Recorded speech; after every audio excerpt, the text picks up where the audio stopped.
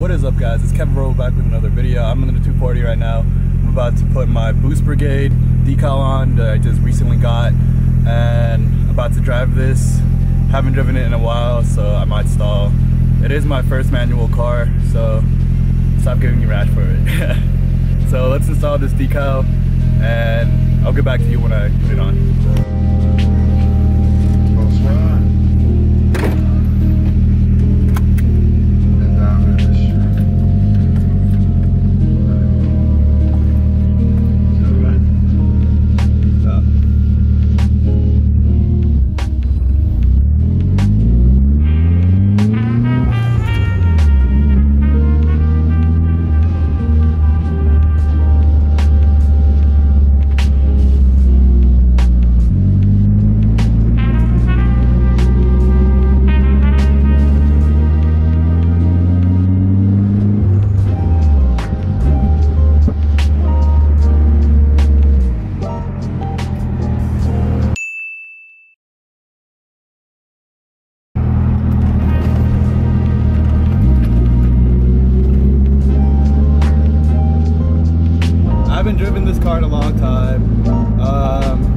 Good to be back though. Feels good to drive me back. Kind of sad that I don't I don't get to drive it as often as I should or I could, but uh, oh well.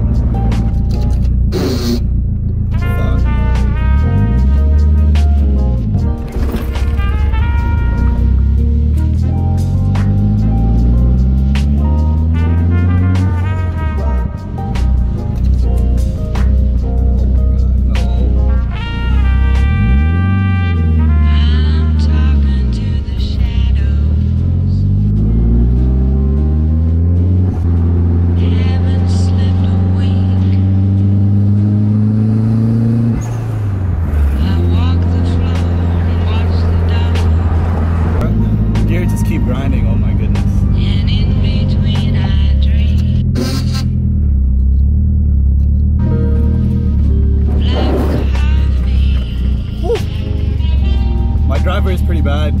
So every time I go up my Civic or either my 240, my 240 is the worst, worst one since it does, it is lower than my Civic, even though it looks like it's the same height.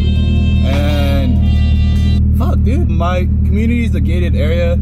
Um, there's people that don't want to open the door for you some, or the gate sometimes. So it kind of sucks.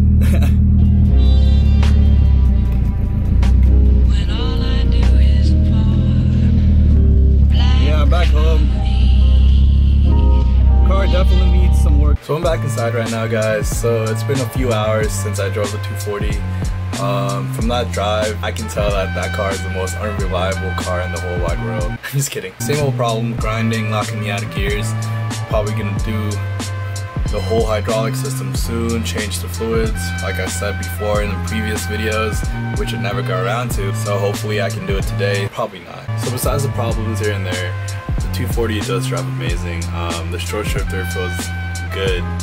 Um, short throws, faster shifting. Um, so shout outs to ISR Racing and also Enjuku Racing for sending it up for like 80 bucks. So check them out if you guys want high quality products. So I actually decided on what wheels I want. I'm to get the Rota RBs, 17 by 9.5s, negative 19 millimeter for the offset. Hopefully I can get those soon and I'm also to wrap those in Continentals Extreme Contacts BW506s. I'm just reading off my part list by the way. So that is it for this video guys. Thank you guys so much for watching. Have a great day. Have a great week. Stay safe y'all.